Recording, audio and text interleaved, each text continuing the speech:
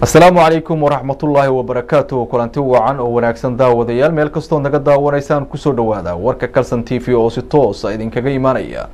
Istuudiyaha magaalada london warkana waxaa idinla socodsiin doona anigoo maxamed cabdisalaada qodobada aad ku maqli doontaan warkeena waxaa ka mid noqon doona dowladda federaalka ee soomaaliya ayaa sheegtay in xal laga gaaray. Khilaafkii ka jiray markabka xoolaha siday ee ka soo ambabaxay dekeda magaalada berbera ee ku xirtay magaalada jidda kaasi oo muran xoogan uu ka dhashay dejinta xoolaha saaran markabkaasi. Xisbiga mucaaradka ah ee wadani ee somalilan ayaa waxaa si adag uga hadleen xarig la sheegay in loo geystay qaar ka mida siyaasiyiinta somalilan iyo qaar ka mida saxufiyiinta ka howlgala guud ahaan gobollada kala duwan ee somalilan. Xubno ka mid ah guddigii dhowaan uu ku dhawaaqday wasaaradda arrimaha gudaha ee dowladda federaalk ee soomaaliya ayaa maanta waxa ay gaareen magaalada dhuusamareeb si ay qeyb uga noqdaan dhexdhexaadinta iyo weliba shirka daba heshiisiinta ah ee lagu wado inuu ka furmo magaaladaasi. Odayaal iyo waxgarad ka soo jeeda deegaanada jubbaland oo kulan ku yeeshay magaalada muqdisho ee caasimada soomaaliya ayaa si weyn eedeyn waxay ugu jeediyeen madaxweynaha maamulka jubbaland axmed maxamed islaan axmed madoobe. Dowladda federaalk ee soomaaliyana waxaa saraakiil ka tirsan ciidamada dowladda soomaaliya ay dallacsiisay kuwaasi oo lagu abaalmariyey shaqadii ay qabteen muddooyinkii ay u shaqeynayeen ciidamada dowladda soomaaliya.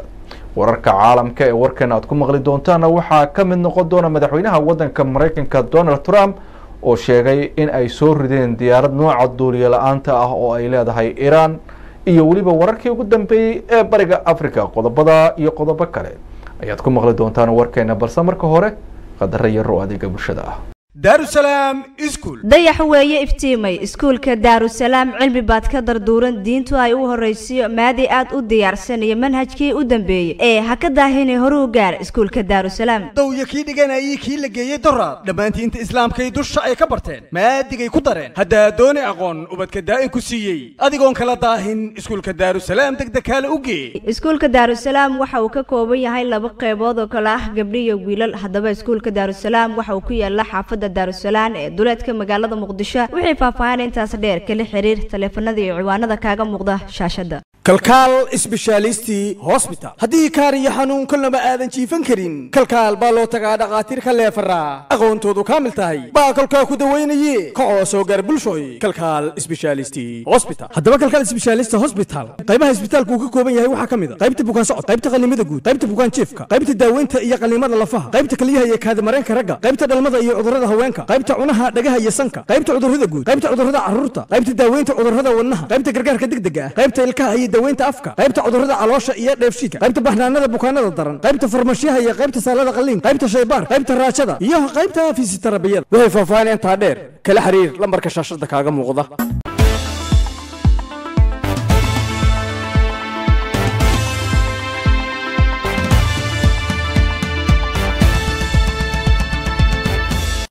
dowladda federaalk ee soomaaliya ayaa sheegtay in xanibaadii laga qaaday markab xoolo ka qaaday dekeda berbera waxaana markabkaasi uu ku xirnaa magaalada jidda ee wadanka boqortooyada saudi arabiya halkaasi oo muddo uu taagnaa. Kadib muran ka dhashay xoolahaasi iyo weliba qaabka ay ku soo dhoofeen. Warbixinta warkaasi waxaa inoo faahfaahinaya waryaheena sharmaake maxamuud xuseen ra'iisul wasaare ku-xigeenka soomaaliya mahdi maxamed guuleed qadar oo shir jaraa'id xalay ku qabtay magaalada muqdisho ayaa ka hadlay markab labaatan kun oo ari siday kaasoo dekeda berbera hore kaga shareecday islamarkaana in muddaha ku xayirnaa dekeda magaalada jidda ee dalka sacuudiga. Mahdi maxamed guuleed qadar ayaa sheegay in dowladda federaalk soomaaliya ay dowladda sacuudiga kala xiriirtay arinta la xiriirta markabkan hase ahaatee markabka xoolaha siday ay caddaatay in markabka loo xayray inuusan soo buuxin heshiisyadii dhoofinta xoolaha ee hore ay u wada galeen dowladaha soomaaliya iyo sacuudiga. Mar labaad waxaan rabaa in aan ka hadlo arinta xoolaha oo maalmahanba taagnayd. Ha ahaato markabka ku xayirnaa magaalada jidda ee boqortooyada sacuudi arabiya ama ha ahaato xoolaha wakhtigan xajka u baxaya dalka sacuudiga ee dhulweynaha soomaaliyeed ka anbabaxaya oo ah ganacsi soo jireena oo ummadda soomaaliyeed iyo dowladda boqortooyada sacuudi carabiya ka dhexeeyey muddo dheer hal shahaadad oo ka timaada dalka dowladda federaalka soomaaliya.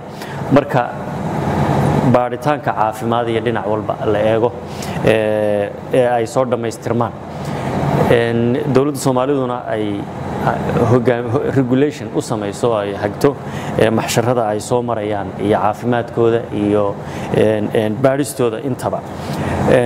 Si xoolihii u furmaan waxaa qasab ah in shuruud kasta oo shardi u ah dowladda sacuudi arabiya oo xoolaha loogu dhoofin karo la jeeggareeyo in ay suurto gashay. Waxaa dhacday tobankii bisha julaay in markab siday xoolaha labaatan kun oo neef ahi uu dekadda jidda ku xirtay. Annagu waxaanu markaa ku war markabkaas oo aan kasokow dokumentiyada kale uu sito dowladda federaalka wax dokument ah ka sidanin.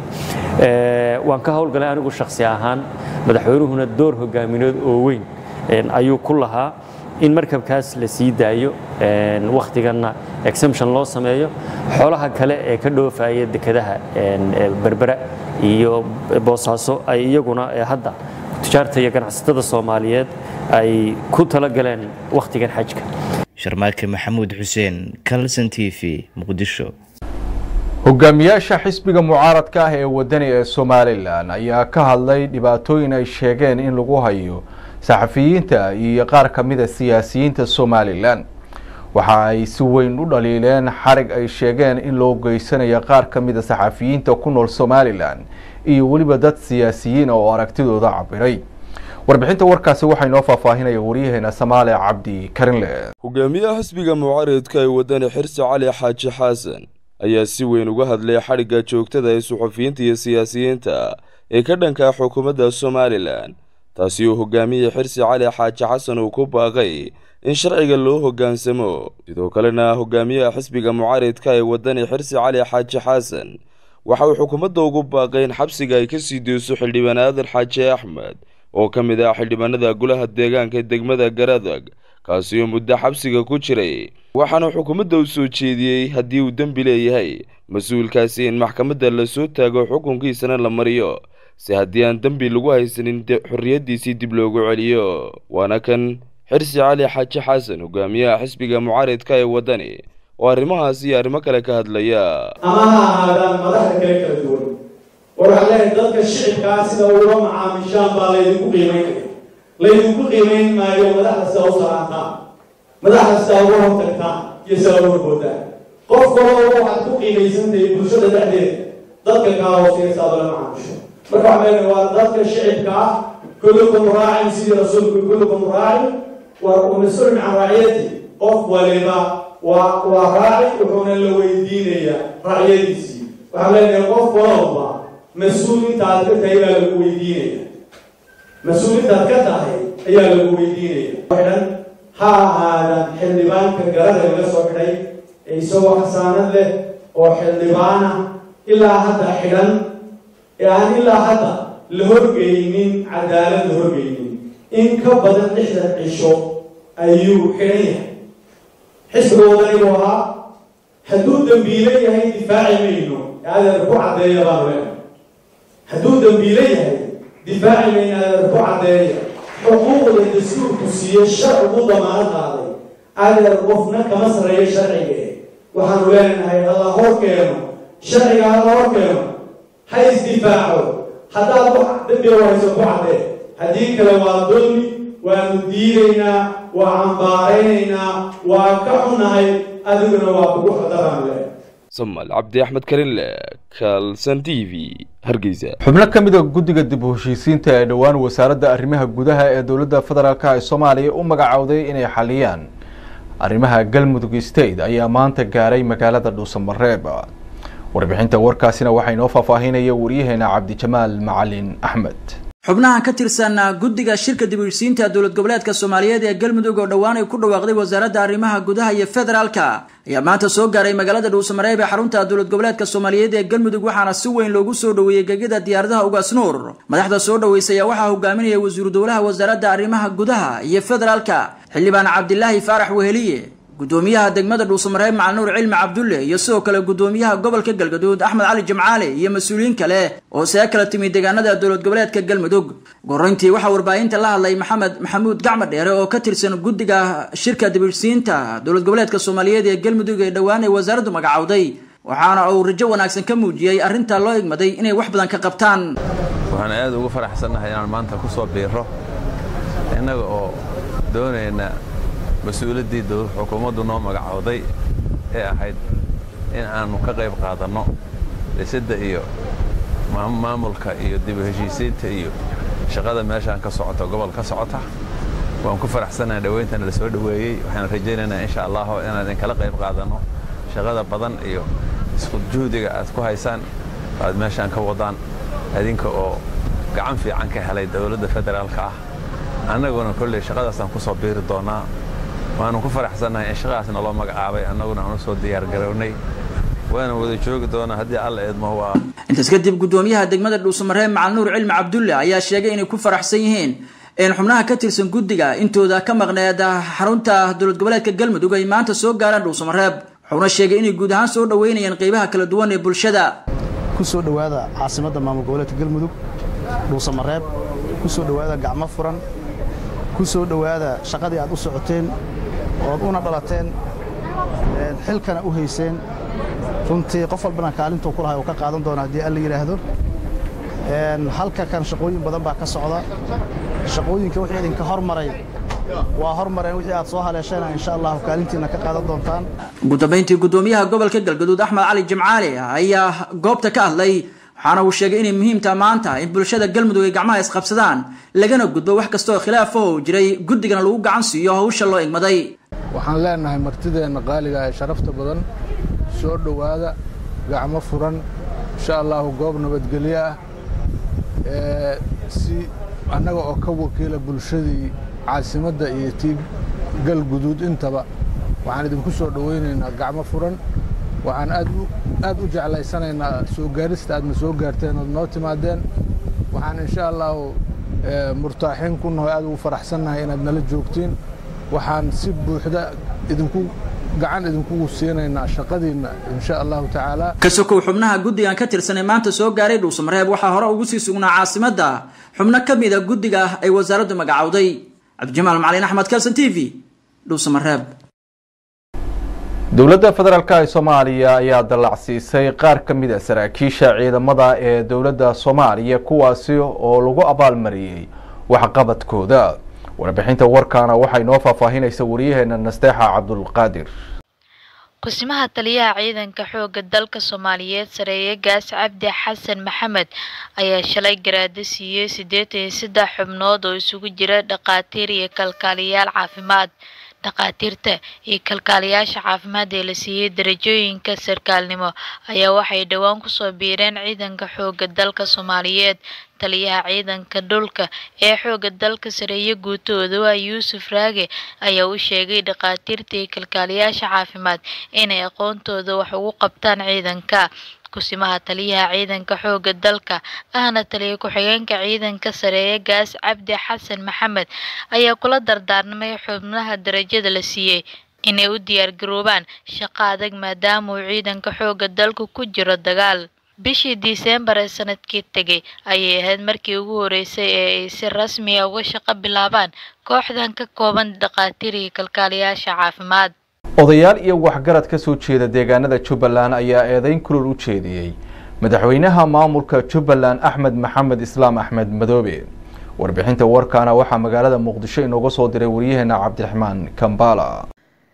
Xilli dhowaan la filayo in magaalada kismaayo ee xarunta kumeel gaarka maamulka jubbaland ay ka dhacdo doorasho ayaa waxaa halkaasi laga soo sheegayaa in dhibaatooyin xoogan ay ka jiraan qaar ka mid a waxgaradka ka soo jeeda maamul goboleedka soomaaliyeed ee jubbaland ayaa maamulka axmed madoobe waxay ku eedeeyeen inuu xirxirayo qaar ka mid a odayaasha dhaqanka ee ka biyadiisan awaamiirta uu farayo waxayna tilmaameen inay jiraan odayaal dhaqan oo lagu xirxiray magaalada kismaayo kadib markii ka soo horjeesteen amar uu siiyey madaxweyne axmed madoobe. Waa kuwaana qaar ka mid a odayaasha dhaqanka oo ka hadlaya. Gobol dhan oo aynu wada degi jirnay oo soomaaliyeed inaynu ku kala guurnay oo qabdidahar iyo dhagax buur iyo jigjiga iyo godey iyo wardheer inaannu guryihii ka dhisnaa iyo aqalladii ka dhisnaa iyo beerihii gacanta idinka gelinnay oonu nidhi waa idinka guuraynaa nabadgelya barqa idinka dhaqaaqnay. Waa ogtihiin raase markaan tagnay wixii ka dhacay. Waynu isnaqaannaa dad wada dhashay oo ehel oo isku degaanaynu nahay. Dad isyaqaan baanoo maanta isbaran mayno. Kismaayo maanta idinka guuri mayno inaan idinka guurinaa waa habeen xalayoo tegey. Wuxuu yidhi ninkii ohan jiray ninkii odhan jiray ismaaciil mire wuxuu yidhi ragow kibirka waa lagu kafaayo kaaha la ogaado. Ma garata. Marka waxaan leeyahay walaalayaalow kibirka aad nagu kibraysaan joojiya. Waxa aad nagu waddaanna joojiya mana yeelayno inuu cabdulaahi ismaaciil kabowna la xidho suldaankii guud ee beesha reero qudub in la xidho maqaarsaarna la geeyo ma yeelayno. Kismaayana ku kala guuri mayno saasaan leeyahay dowladda federaalka waxaan u sheegayaa waa og tahay maxamed cabdulaahi farmaajo madaxweyne madaxaaga kor allaha ka dhigo ra'iisul wasaarihii iyo wasiirradii beelaha hawiye oo dhan waxaad u dirtay waxaad u dirtay galmudug baad u dirtay. Soo heshiisiyaa tiri waxa nugu kibreeya ee nugu haysta kismaayo ee nugu leynayana waad og tahay shirkan jaraa'id waxaan u qabannay waxyaaba dhacdooyin ee dhacay ee ka dhacay jubbooyinka muxuu ahaa iyo ka dhacay ayaan u qabanaynaa. Taasoo ah salaadiintii ay beeshani ku abtirsanaysay in la xirxiro in muxuu ahaa khadka laga saaro in la yidhaahdo maqaarsaar loo sameeyo oo la yidhaahdo meel kale ayaa qolo kale ayaa muxuu ahaa suldaanidiina horta kaasuu ku saabsan yahay. Aan sheegaya ummadda soomaaliyeed ama beeshani aan u sheegayaa waxa meesha aad ka dhimateen waxaa waaye siyaasiyiintiinnii ayaa meesha idan dhigay waxaa ragga ka soo saaray ee xirxiray waa siyaasiyiintiinnii waa dadkaad meesha geysateen. Mid federaal ha noqdo mid maamul goboleed ha noqdo mid walba muxuu sheeg danihiisa khaaska ayuu ka shaqaynaya.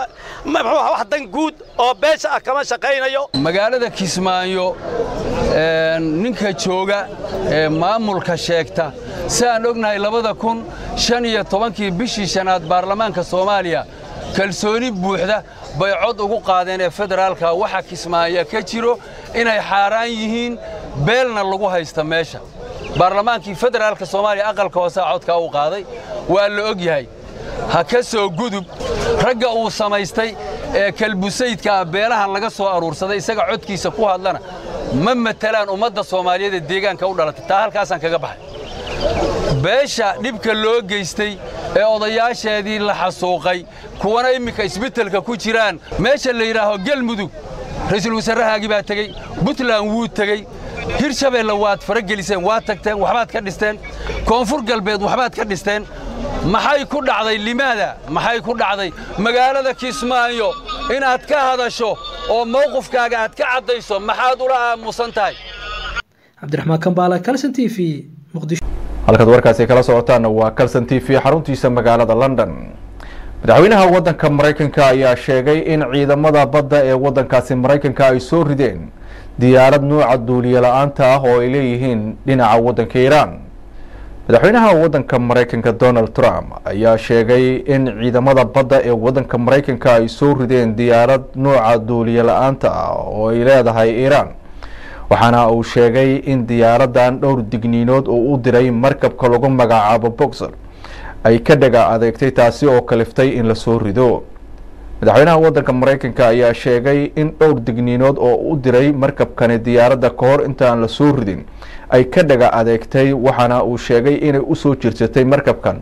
Wax ka yar kun mitir taasi oo keentay uu sheegay madaxweynuhu in diyaaraddaasi la soo rido wasiir ku-xigeenka wasaaradda arrimaha dibadda ee waddanka iiraan ayaa waxaba kama jiraan ku tilmaamay in ay jirto diyaarad nooca duuliye la'aanta ah oo ay leedahay dowladda iiraan oo la soo riday waxaana uu sheegay inaysan jirin wax diyaarad ah oo nooca duuliye la'aanta ah oo ka maqan dowladda iiraan waxaana ay tani ka dambeysay hadalkaasi ka soo yeeray madaxweynaha waddanka maraykanka ee ku aadanaa in ay soo rideen diyaarad nooca duuliye la'aanta ah oo ay leedahay iiraan taasi oo uu ku sababeeyey in ciidamada maraykanka ee badda ay isdifaacayeen xuquuqda iyo xaqana ay u leeyihiin inay iska difaacaan cid kasta oo ku soo xadgudubta.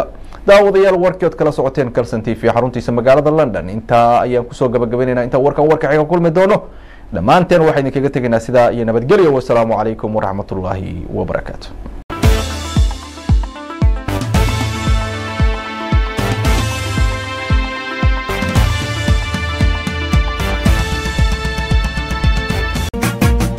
waddani maxay kula tahay xalka soomaaliya? Afari nusafadaan war adna? Midnimada soomaaliya waa muqadas adna maxay kula tahay? Now war annagu horanu goonee aqoonsi baan doonaynaa adna? Habartayni ninkii aroso adeerkayna lee waaye. War adna maxay kula tahay? Dowlad dhexe oo sal adag. Oo adna. Yaa minay xamar xisaab ku jirin waxaan dhihi karaahe adna maxay kula tahay? Boowe aa federaal. Inaa adeeray adigana qoondada dumarku waa geedka go'an bal dadkan eega oo xaggeen loo kala socdaa. War maxaad ula yaabaysaa? Dadku waa kala maane.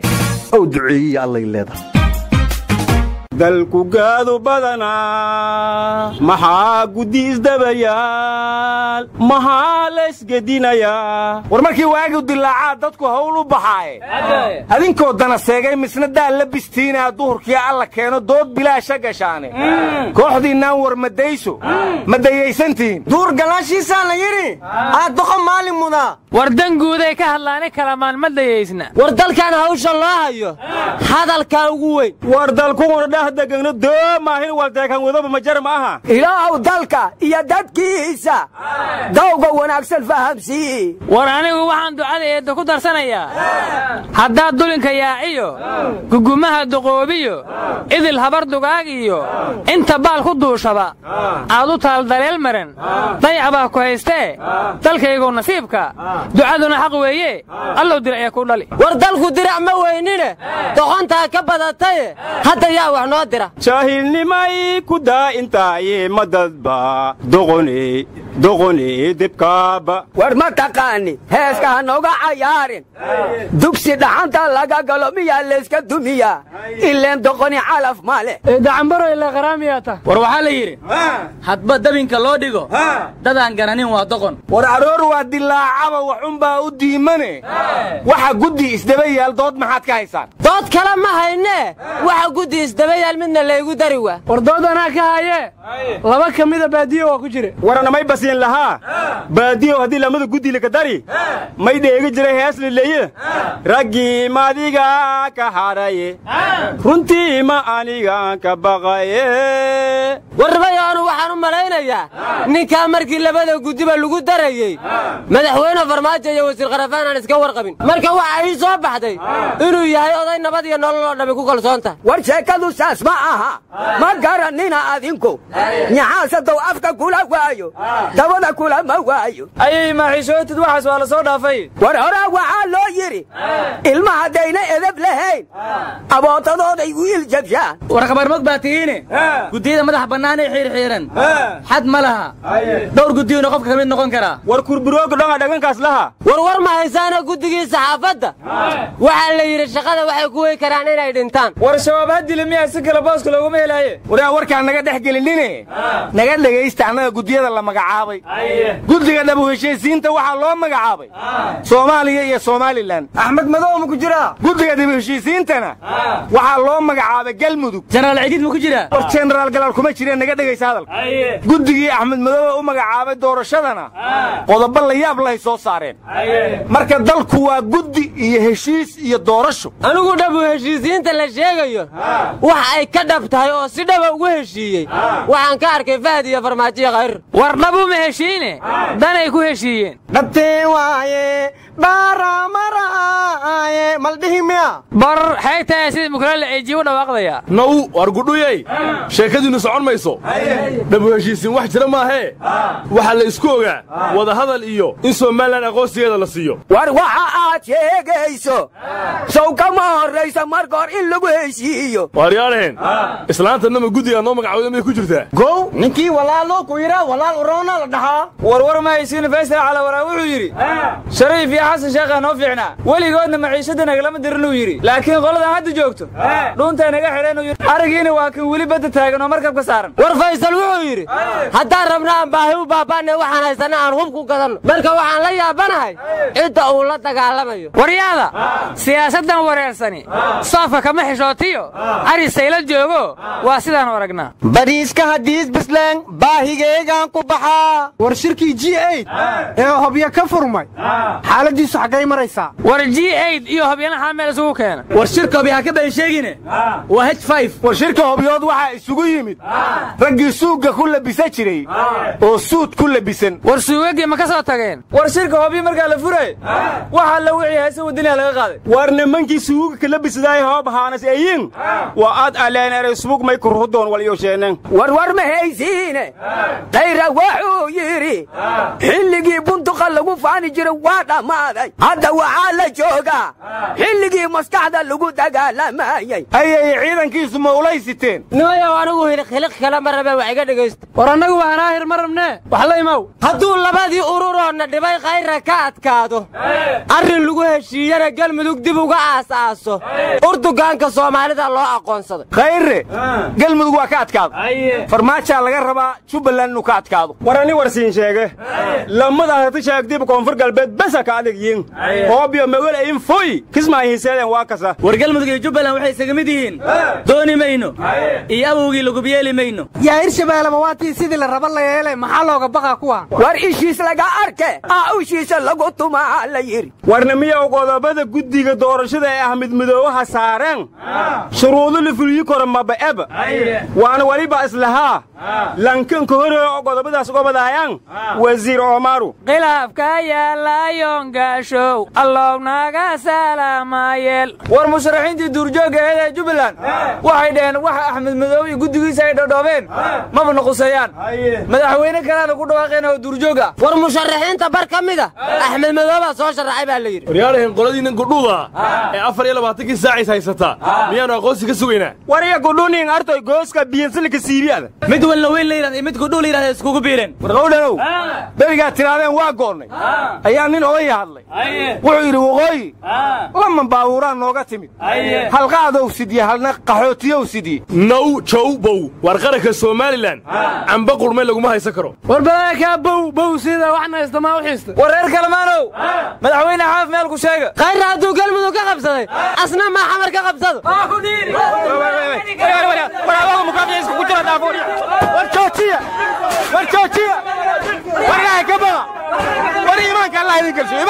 Allah Allah Allah